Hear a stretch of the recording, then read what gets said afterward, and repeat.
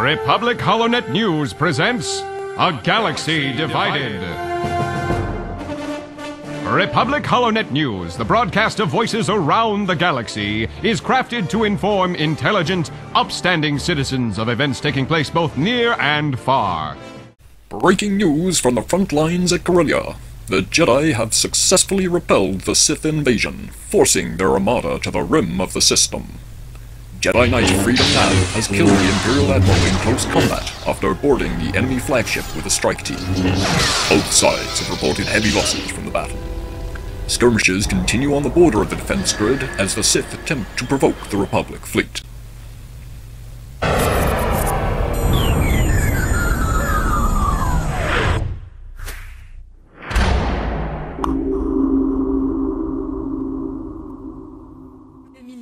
This is Altana le Anya at the Coruscant News Desk.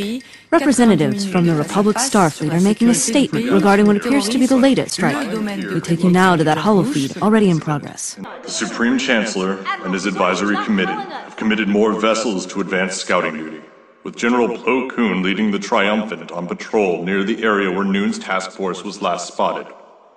Briefings will resume once we have cleared and declassified information to share. That is all.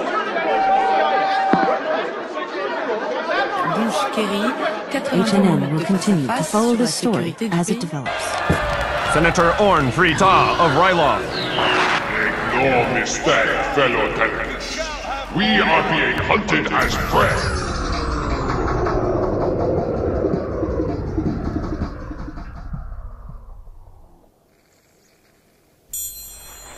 Breaking news. The Sith fleet has struck at Coruscant. The capital is under attack. Huge numbers of Republic ships have already been called into the system, and more are still en route. The Sith force is also continuing to flood into the system. Estimates put more than a hundred warships in orbit of Coruscant. Invasion craft are swarming through the atmosphere, focusing on the Jedi Temple, the Senate, and the defense infrastructure. All civilian craft are being warned away from the system as Sith interceptors patrol the hyperspace entry points in attempt to cut off our reinforcements. We repeat, all civilian craft are being warned away from Coruscant. The capital is under attack. We will repeat this bulletin every 15 minutes. Coruscant has been attacked.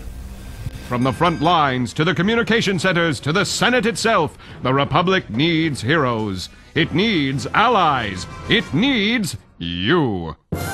Reporting on the side of peace and justice, this is Rule Davenbay. Tune in next time as HoloNet News presents A, Galaxy, Divided.